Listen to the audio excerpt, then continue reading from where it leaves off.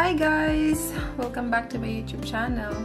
So for today's video, gusto ko lang i-share sa inyo yung mga natanggap ko from my in-laws. So nagpunta kami kahapon sa um, bahay ng sister-in-law ko sa Pottsville.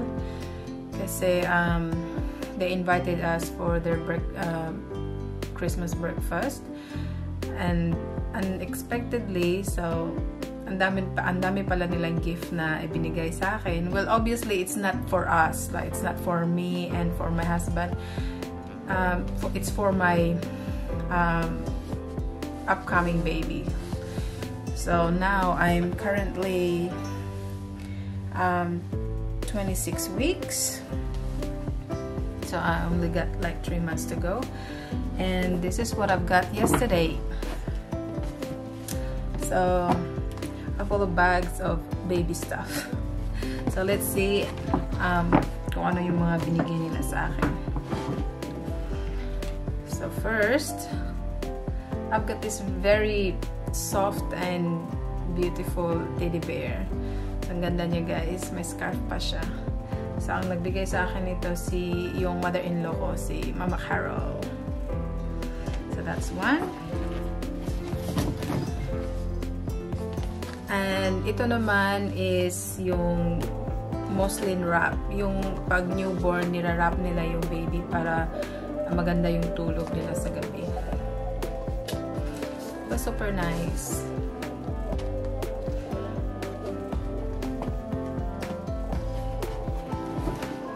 Ito naman sa um, sister-in-law ko na si Joe na uh, from Sydney. So, binigyan niya ako ng dalawang um, books. So, ito yung since my baby is a boy. So, binigyan niya ako ng ano, binigyan niya yung baby ko ng mga trucks, sort of trucks, cars, and etc. At yung isa is yung um, alphabet yung animal alphabet. Tapos yung, may maganda yung ano niya, maganda yung ano niya guys kasi may ano siya um, makapal na te texture na pa pag nirab mo siya parang ang ganda niya sa ang ganda niya i-rub. Next is toy alam, alam niyo yung nasa kuna, yung nilalagyan ng toy sa kuna, pero, pero may ano siya, parang um, nakasabit ng mga toys. Ah, diba? Ang cute niya. So, meron ako parang rabbit dito, tsaka, tsaka bee. Oh. Spoiled nila yung baby ko. Tapos, um, ito naman is yung sa mother-in-law ko din. So, set siya. Set siya, guys. So, ito yung um, pants niya na may medyas na. So, hindi na ako, hindi na ako makakailangan ng medyas. Tapos, may bibs pa siya. Tapos, may mittens. Diba, cute? Tapos, ito naman is yung jumpsuit niya. Tapos, may hat. So cute!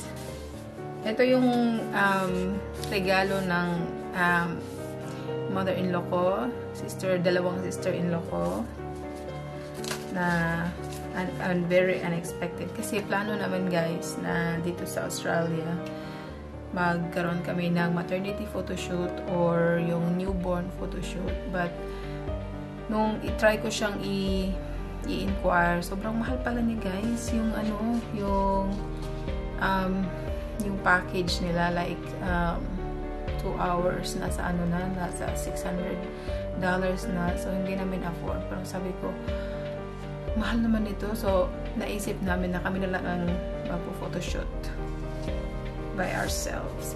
But unexpectedly kahapon um, while opening gifts so ito yung pinaka parang special na gift na binigay nila sa akin nag joint force sila guys para ma bigyan nila ako ng gift card from Enigma Visions Photography. Yan. Oh, di ba ang ganda?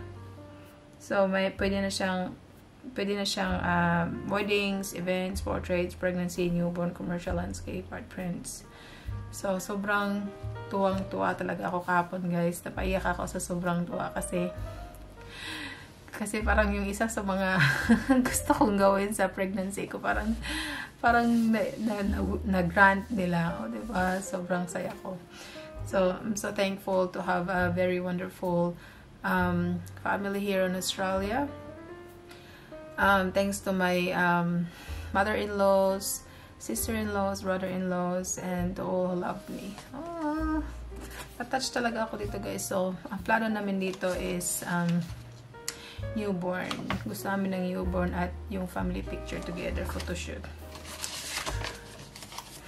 Oh, diba? Ang dami, ang dami.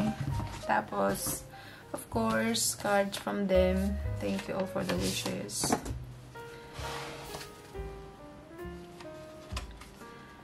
Tapos ang sabi dito, um, Dear Grant and Bernadette, looking forward to to next year. Lots of love to you both.